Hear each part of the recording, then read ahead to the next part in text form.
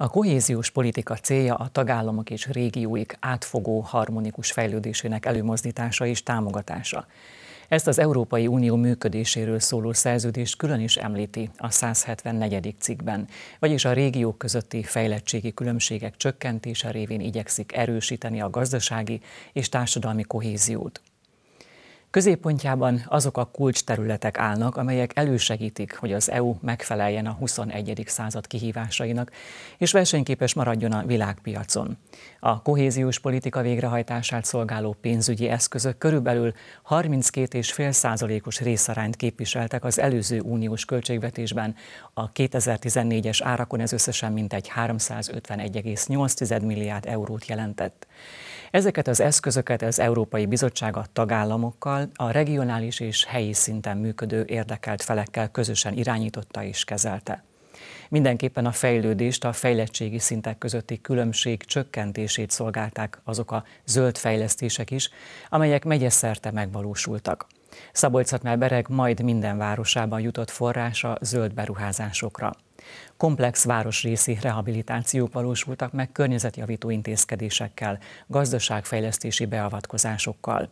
Zöld felületek újultak meg az általános környezeti állapot javítása érdekében. De a városi közterületek környezettudatos, klímabarát megújítása távlati célokat is szolgál. Egy vonzó üzleti környezet erősítheti az adott térségi központ, a centrumok, decentrumok térségi gazdasági központi szerepét.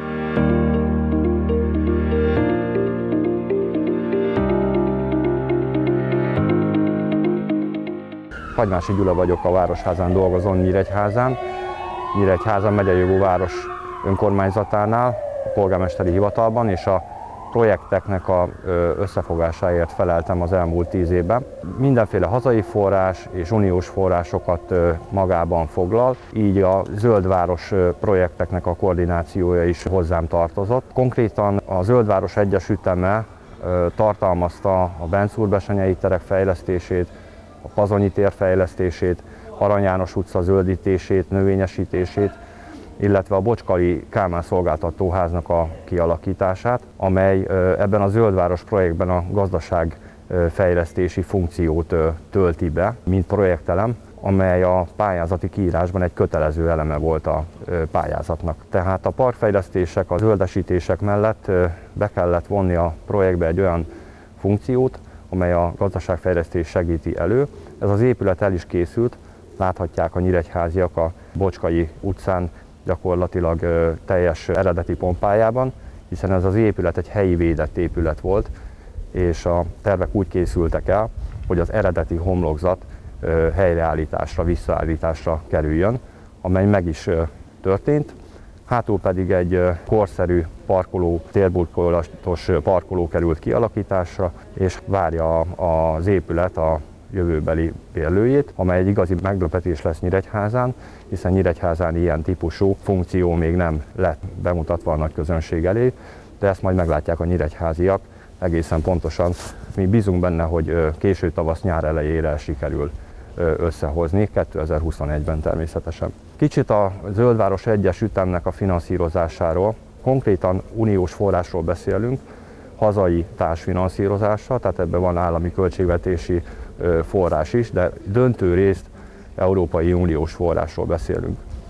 Az egyes ütemnek a konkrét kivitelezési projekt forrása 1,6, majdnem 1,6 milliárd forintra rúgott, amely magában foglalta az összes projektelemet, tehát a Bújtosi Városliget fejlesztését, az Arany János utca zöldítését, a Benzúr besenyei tereknek a korszerűsítését és a Bocskai Kálmán szolgáltató házat is, illetve a Pazonyi térnek a teljes újragondolását és zöldítését.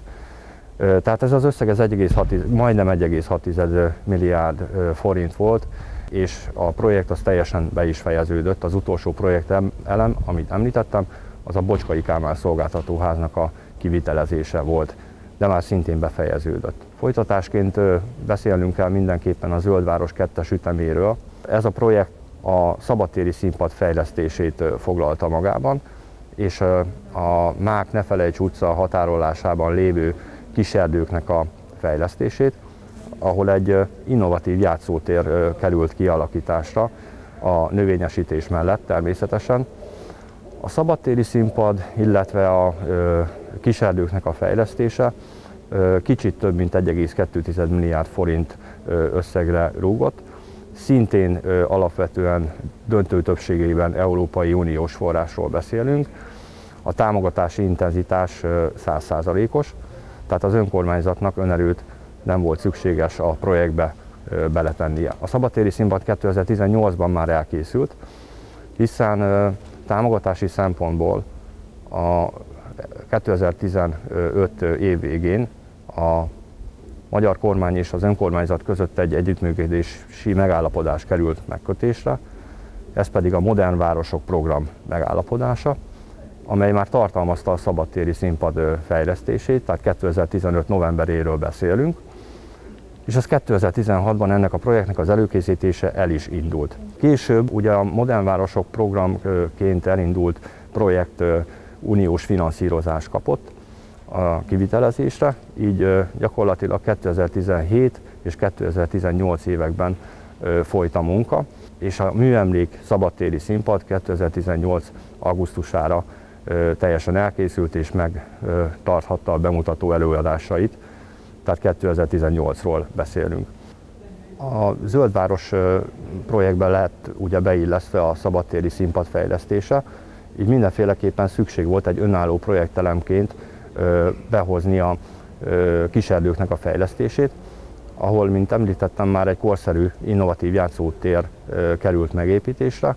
Olyan fafajták lettek telepítve, amely az ottani talajviszonyoknak megfelelő. Ezt a főkertész úrra természetesen végigegyeztettük, mint ahogy a más projektelemeket is a Zöldváros projektek tekintetében. Amit említettem, tehát hogyha 1,2 milliárd forint uniós támogatás sikerült erre a két projektelemre elhozni, nagyságrendileg olyan 50, 50 millió forintot fordítottunk a kiserdőknek a fejlesztésére, és észszerűen a többi projektforrás pedig a, a szabadtéri színpad fejlesztésére került allokálásra.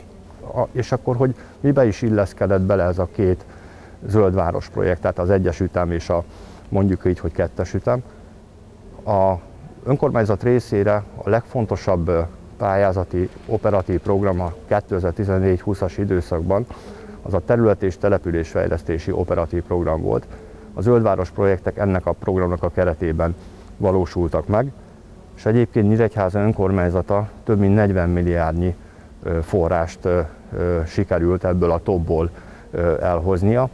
Ez azt jelenti, hogy csak a topból, tehát a terület és településfejlesztési operatív programból 100%-os támogatásként javarészt több mint 40 milliárd összeget futtunk a város fejlesztésére fordítani, tehát útfejlesztés, kerékpárutak, óvodafejlesztés, bölcsödefejlesztés, zöldváros program, barna mezős program, amely alapvetően a Tiszavasvári úti laktanyáknak a fejlesztését foglalja magában, és hát mindenféle olyan fejlesztés, ami ebbe az operatív programba beleírott, beleillett, tehát a városlakók nyilvánvalóan ezt észrevételezhették, illetve észrevételezhetik is, hiszen jelenleg is folynak topos projektek.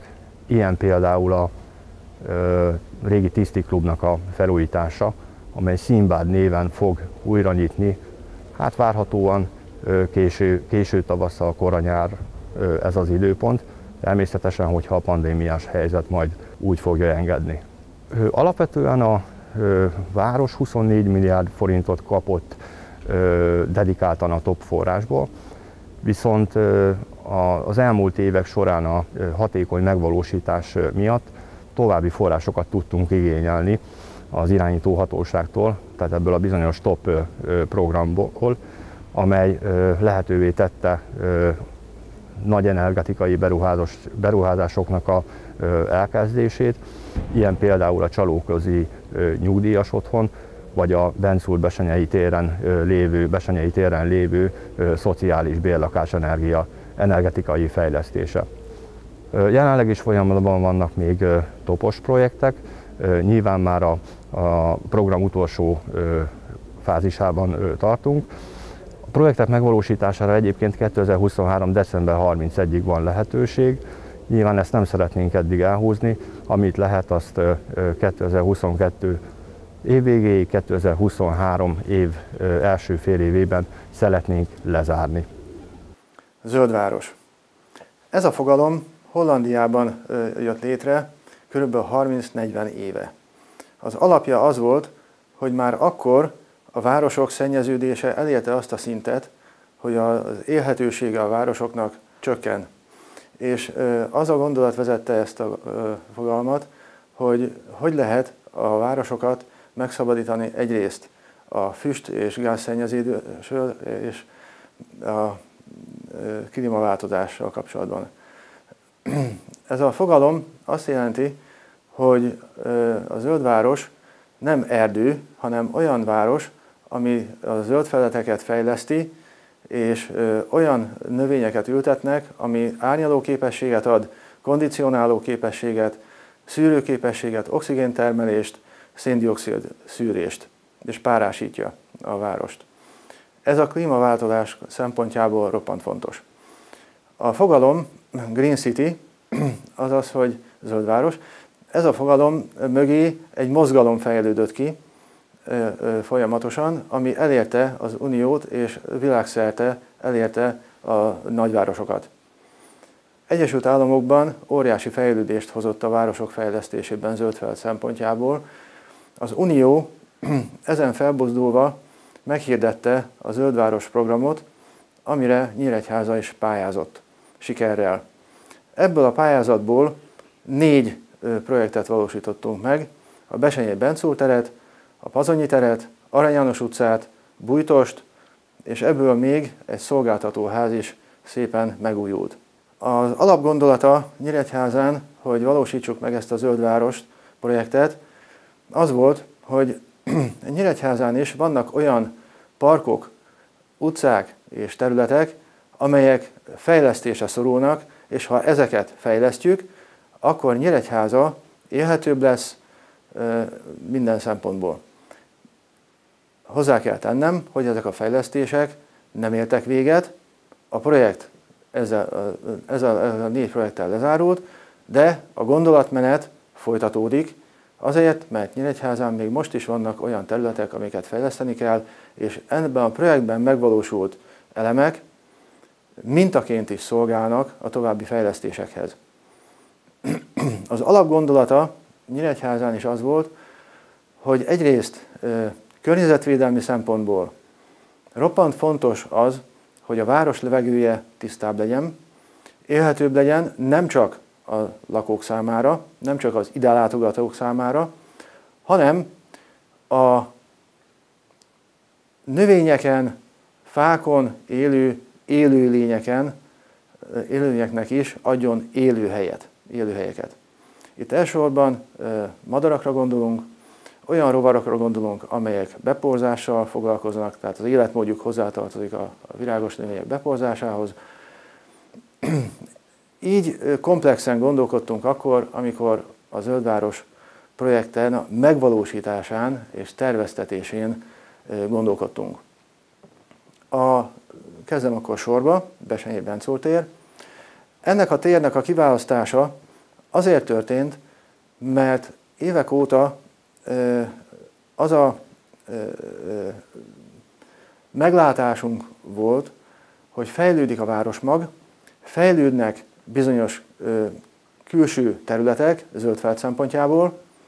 A Besenyei Bencúr tér annak ellenére, hogy funkciókban gazdag, hiszen két színház is van a területen, iskolák, óvodák veszik körbe, és ilyen szempontból lemaradt a fejlődésben. A a tér jellege lényegében egy ilyen áthaladó területet foglalt magába. Nem volt kívánatos a téren való tartózkodás. Semmilyen olyan funkciója nem volt a térnek, amely a idelátogatókat vagy a helyben lakókat arra bírta volna, hogy szívesen tartózkodjanak ezen a téren. Ha színházba mentek az emberek, akkor áthaladtak a téren és bementek a színházba. Színházból kijöttek, áthaladtak az autóparkolóba, és nem időztek a térben, mert nem volt miért időzni. Nagyon fontos szempont volt az, hogy a, teret, a két teret úgy fejleszünk, hogy egyrészt a környező oktatási intézmények, nevelőintézmények, valamint a városlakók és az ide látogató idegenforgalomban résztvevő polgártársaink is jól érezzék magukat, és megtalálják azt a kikapcsolódási lehetőséget, amely a téren ilyen módon, hogy elkészült, most már rendelkezésre áll. Az Arany János utca fejlesztése tulajdonképpen a Szarvas utca, Aranyos utca körfogalommal építésével kezdődött, de ennek nem volt része a teljes Aranyos utcának a zöldfelt fejlesztése. Ilyen formán nagyon fontos szempontként vetődött fel, hogy ha elkészül egy parkosított körforgalmi csomópont, akkor igazítsuk hozzá az Aranyos utcát zöldfelt szempontjából, valamint fontos az is, hogy az Aranyos utca nyugati, oldal, nyugati vége az állomáshoz csatlakozik, és az állomásról jövők ne egy leromlott zöldfelt szerkezetű utcába lássák meg és azon haladjanak, hanem, hanem hát az az élmény fogadja őket, hogy virágos, cserjés, fásított utcakép fogadja őket, hiszen azért ne felejtsük el, hogy az Aranyos utcán egy nagyon fontos középső elválasztó sáv is van, amely növényesíthető, ezt a lehetőségekhez képest maximálisan ki is használtuk a fejlesztéssel. Következő területünk a Bújtos Városliget, amely kiterjedése és ökológiai szempontból figyelembe véve nagyon fejlesztésre szorult. Ezért választottuk ki a Zöldváros programba. A területe olyan jelentős, hogy tehát tudjuk, hogy ott van tófelület, sziget, híd, sportpálya, de ebből a szempontból megállapíthatjuk azt, hogy elsősorban hagyományosan a fiatalok szórakozó és kikapcsolódási helye volt. Szerettük volna azt, hogyha ezen a területen a fiatalok, a fiatalházasok, fiatal, kisgyermekes családok, akár nagyobb gyermekes családok is megtalálják a kikapcsolódási lehetőségeiket, és ezért egyrészt növényesítettük a bújtosligetet, fákat ültettünk, cserréket ültettünk, dekoratív cserjehatásokat hoztunk létre, illetve sportpályákat, újabb sportpályákat hoztunk létre ennek a cél, céloknak az eléréséért.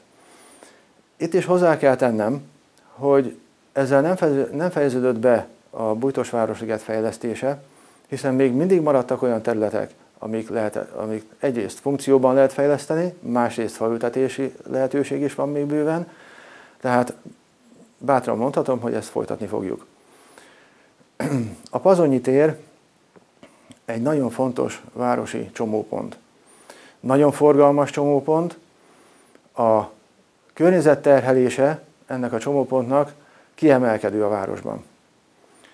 Évek óta tervezzük azt, hogy a környezetét fásítani kellene, a, a légszűrést, a levegőszűrést fejleszteni kellene, a hősziget képződést vissza kellene szorítani, és ez a zöldváros pályázat kapóra jött ebből a szempontból, hogy ebből a pályázatból azt is meg lehet valósítani. Ezért direkt a tervező figyelmét felhívtuk arra, hogy a szempont egyrészt a Panzoni téren az, hogy ott van egy román hősi emlékmű. Ennek a kegyeleti parkrészét úgy fejlesz hogy ez a funkció még erősödjön, maradjon meg, erősödjön, viszont a többi részén annyi fát tervezzen be, amennyi csak lehet, annyi cserjét, amennyi csak lehet, természetesen sétányokat is kell fejleszteni, hiszen a salakos sétány ugye itt is uralkodó volt, mint a Besányi Bencúr téren, tehát ezeket mind-mind épített sétányra cseréltük ki, hogy a járhatósága, a sétálhatósága egész évben folyamatosan csapadékviszonyoktól függetlenül meglegyen.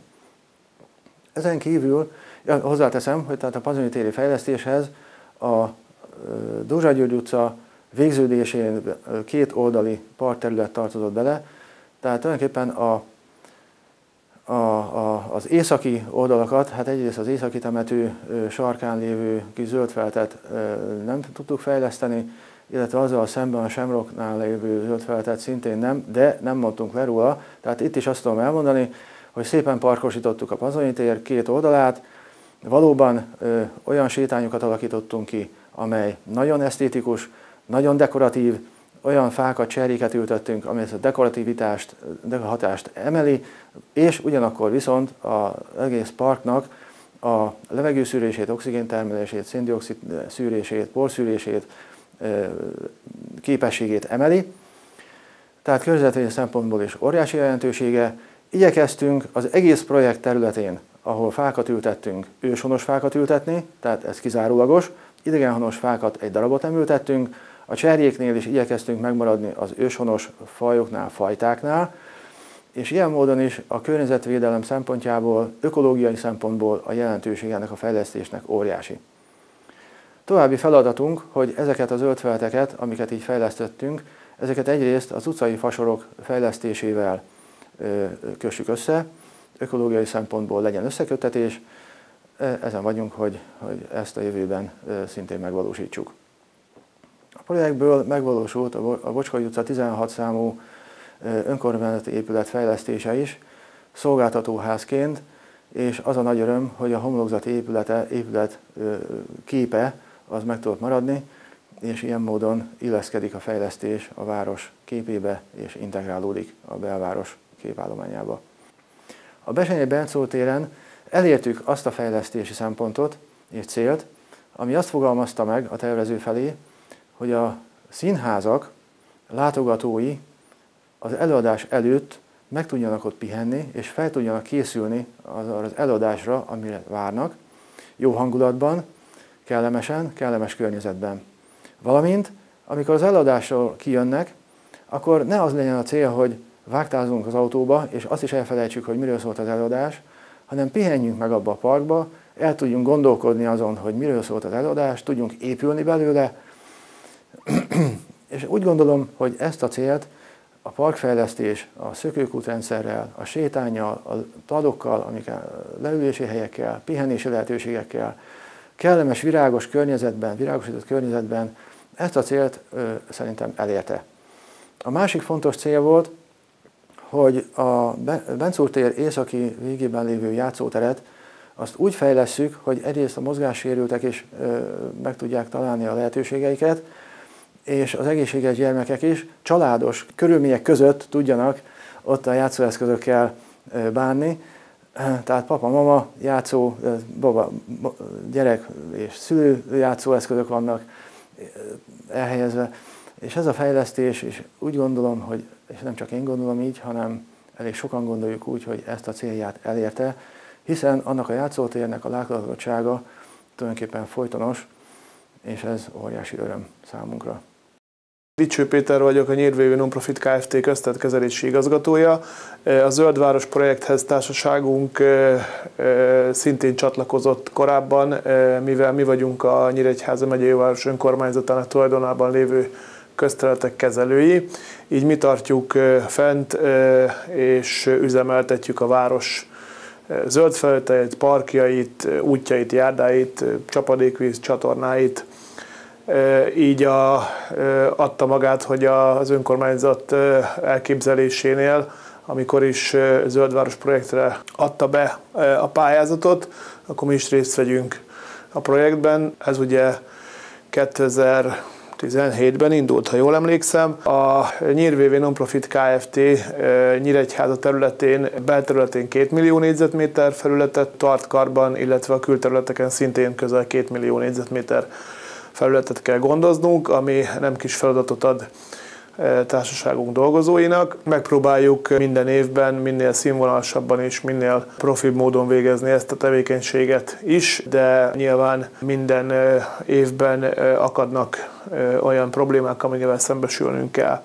A Zöldváros projekt eredeti elképzelése ugye az, hogy korábbi leromlott, rossz állapotú zöldfeltek megújítása történjen meg. A projektben előírt feltételekkel, gondolok itt növényállomány megújítására, olyan anyagok használatára, ami környezetbaráttá teszik a megújítandó területeket, illetve a kivitelezés során is olyan megoldásokat kell alkalmaznia, vagy kellett alkalmaznia a kivitelezőknek, amivel minél jobban tudjuk óvni a környezetünket. 2021-ben elmondható az, hogy Nyíregyháza, én azt gondolom, hogy jó úton halad a zöldváros területén is, Az elmúlt években számos helyszínen újultak meg zöldfeltek a Zöldváros projekt területen kívül is, illetve elindult egy nagyméretű fásítási program is a polgármester úr indítatására, ez az idejében is folytatódni fog. Hál' Istennek ugye minden projekt elkészült, így a városlakók ezeket már látják is, és használják is a legnagyobb megelégedésünkre.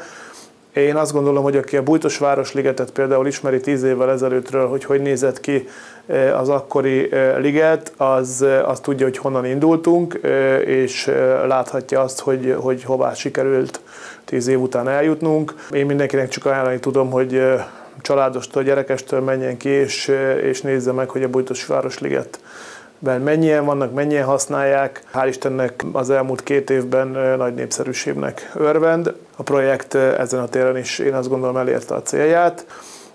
Zöldváros projekt kapcsán ugye fontos kiemelni, hogy, hogy ez előre mutató projekt, mivel a mostani klímaváltozás következtében, vagy az évek, elmúlt évek klímaváltozásai következtében minél többet kell foglalkoznunk és tennünk a zöld felteleinkért, parkjainkért, hogy tudjuk ezeket olyan minőségben és mennyiségben fenntartani, ami használható a városlakók számára. Egy ilyen környezet kialakítása ugye egészségesebb életmód felé is tudja vinni a városlakókat, mert szívesebben mennek ki olyan környezetbe, amiket létre tudtunk hozni itt ezeken a fejlesztési helyszíneken.